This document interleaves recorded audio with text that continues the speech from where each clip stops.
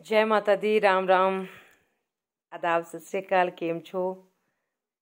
घनी गंबा वो नहीं आता मेरे को बोलने।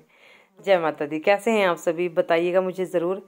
और उम्मीद करते हैं आप बहुत अच्छे होंगे, भगवान की कृपा से जहाँ कहीं भी होंगे। तो अभी हम बना रहे हैं परांठा दिन को। वो क्या था ना कि हनी को भी लगी थी भूख और कुछ जो जो को भी चाहिए था तो उसको बिना तेल वाला बना देंगे, बाकी कुछ तेल लगा के। तो इसमें जो धनिया लाई थी मैं, क्योंकि धनिया तो बहुत सारा है, आप लोगों को पता है हमारे खेतों में। तो दो प्याज मैंने यहाँ पे छीले थे, लेकिन मैं दो नहीं डालूँगी, मैं सिर्फ़ एक ही डालूँगी, ये प्याज बड़े बड़े हैं, है ना? तो ये देखिए, और ये हो गए, धनिया हो गया।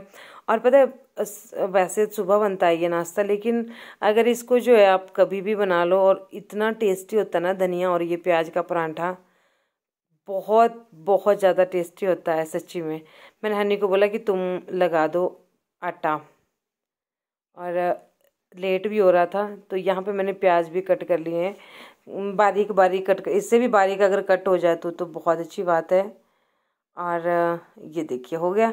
अब इसमें डाल देंगे, मिला देंगे हम कुछ। देखो, ये मेरी छुरी एक जल गई थी पीछे। थोड़ी सी हल्दी मिला देंगे थोड़ा सा नमक मिला देंगे और थोड़ा सा जीरा मिला देंगे। सिंपल सा परांठा पर बेहद टेस्टी। और अजवाइन हाँ अजवाइन भी इसमें मिला देनी। और जो हेल्थ के लिए भी अच्छा होता है और थोड़ा सा मैंने इसमें गरम मसाला डाल दिया। तो चलिए, अब इसको मिक्स कर लेते हैं। इसको ना नमक डालने के बाद फटाफट से बनाना पड़ता है। आटा पहले ही लगा के रखना पड़ता है क्योंकि क्या है ना कि नमक जो है वो पानी छोड़ देता है किसी भी चीज़ में, मिक्स होता है खासकर प्याज में। तो यहाँ पे ये मैंने बना दिए पेड़े। हम बोलते हैं इसको अपनी भाषा में पेड़े। और, ये देखो। आज मैं डबल वाला परांठा नहीं बना रही हूँ, बस इसी तरह से आ रही थोड़ा सा। बड़ी कर देनी है और इसमें हमने इसको मिक्स कर देना है। और भाई हरा कुछ भी हो, पालक हो, कुछ भी हो, किसी भी तरह से आप बना लो। बहुत अच्छा होता है टेस्टी होता है, स्वास्थ्य के लिए बहुत अच्छा होता है। तेल लगाओ, ना लगाओ, वो हमारी मर्ज़ी है। घी लगा दो, कुछ भी जो भी है, सूखा बना दो। लेकिन होते बहुत टेस्टी हैं। तो ये देखिए, इस तरह से, पता है, ये फट गया वॉलपेपर अब हम नई किचन में वॉलपेपर नहीं लगाएँगे, वहाँ पे हम टाइलें लगाएँगे। सिर्फ़ रसोई में। और किसने हाँ भास्कर ने बोला था कि दीदी, कमरों का बताना किस तरह से बन रहे हैं। तो भास्कर अभी जो क्या है ना कि अभी ढंग से मतलब वहाँ पे सेटरिंग चढ़ी है ना, पता नहीं लगेगा। तो मैं बताऊँगी बाद में। और देखिए, ये परांठा मैंने यहाँ पे रख दिया है। और अभी इसमें हम लगा देंगे थोड़ा थोड़ा मतलब घी, तेल जो भी लगाना हो। मैं यहाँ पे रिफाइंड लगा रही हूँ। थोड़ा थोड़ा तो नहीं, ये तो कुछ ज़्यादा ही हो गया। बोलने को हम थोड़ा थोड़ा बोलते हैं कि थोड़ा थोड़ा है। अरे थोड़ा थोड़ा कहाँ है? ये तो तल गया मतलब अच्छी तरह से।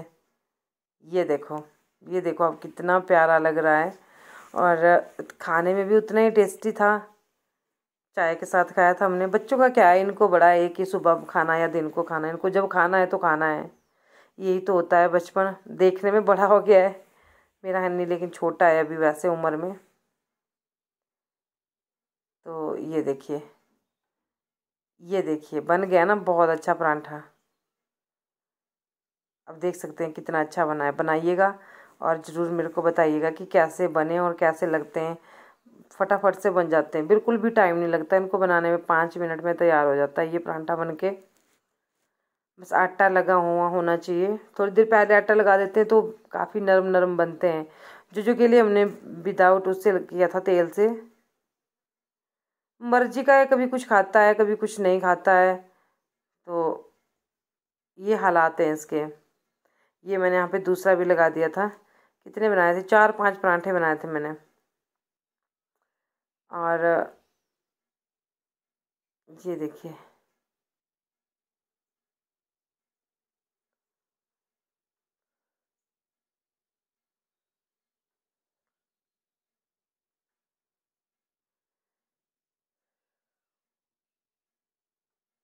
तो चलिए अभी जो जो को खिलाते हैं खाएगा कि नहीं खाएगा?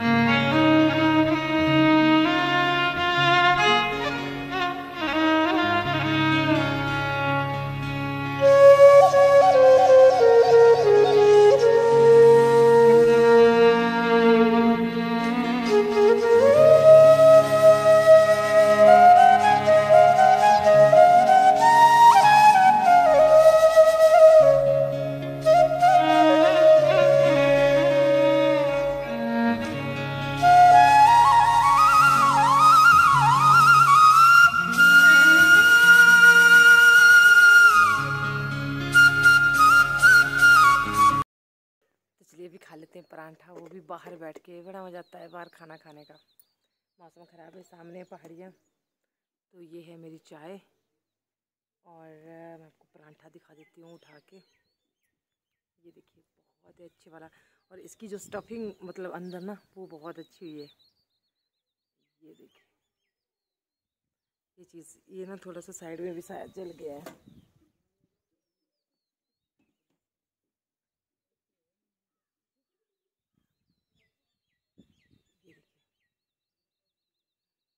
तोड़ तोड़ के क्या दिखा रही है बोल इतना। परांठे की हालत भी हालत कर देगी। तो चलिए भी आपसे बात भी करते हैं कुछ और ये भी खा लेते हैं। आप भी आ जाइए। हालाँकि दिन को नहीं होता परांठा, पर ये अन्नी ने जिद करी और जो जो के लिए ये नहीं खा रहा था कुछ नहीं। तो आ जाइए। और इतना अच्छा बनता है ना, प्याज और धनिया का झटपट। दो मिनट भी लगते इसका मसाला तैयार करने में, इसका पेस्ट तैयार करने में।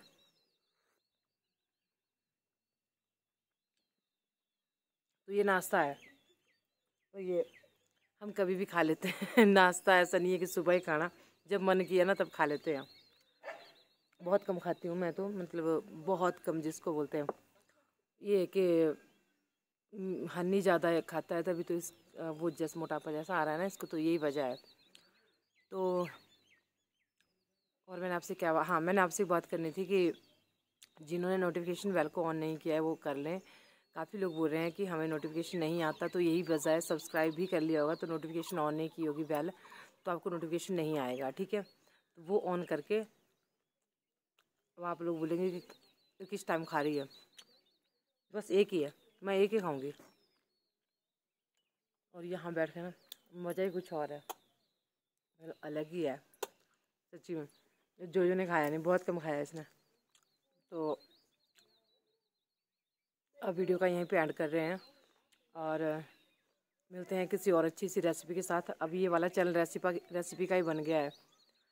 और उसके बाद जो तीसरा चैनल है, उस पर हम ना कुछ ना कुछ बताते रहते हैं। कोई ना कोई स्टोरी कोई ना कोई चीज़ बताते रहते हैं, ठीक है? तो मैं ठीक हूँ, आप लोग बोलते हैं कि आपका चेहरा उतरा हुआ है तो मैं ठीक हूँ, ऐसा कुछ नहीं है। वो कहते हैं ना, बहुत सी तकलीफ़ें होती है, दुख भी होते हैं, लेकिन यहाँ पे बता के क्या होगा, है ना? तो बस वही है ना। कि उनका समाधान करना है, मुस्कुराते रहना है, हँसते रहना है। ज़िंदगी शायद इसी का नाम है।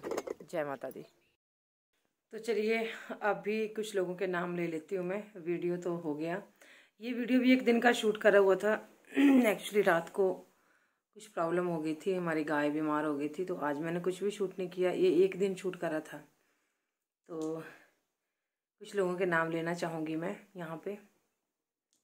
नरेंद्र कौर, आप बोलते हैं ना कि बैड कमेंट पे आप रिएक्ट करते हो तो हम इतने अच्छे कमेंट करते हैं तो इसीलिए मैंने ये सीरीज़ शुरू की है नरेंद्र कौर दीदी हैं, जय माता दी blog different and delicious dishes look yum sis you look very innocent love you all thank you so much दी। और एक है हरप्रीत हरप्रीत जी हैं hello Madhu ji I am from U S A lives under New York और मैं आपके blog हमेशा देखती हूँ, और मेरा नाम लीजिएगा अगली बार तो thank you so much Harpreet ji. और ये हैं कंचन और गोपाल को ही नेता Umang, Nandlal Nandlal Chandel Madhu you are great but धनिया, बहुत धनिया जराती आप। आप you are great super family blogs Sukh Thakur और ये के हमारे राहुल नेगी भाई, बहुत अच्छे कमेंट करते हैं और बहुत सपोर्ट करते हैं हमें। Thank you so much Rahul Negi Haryanvi Khatri blogs Chetna Rabri सिमे Sirmauri blogger Poonam Kavita Pushpa Patel ji हैं।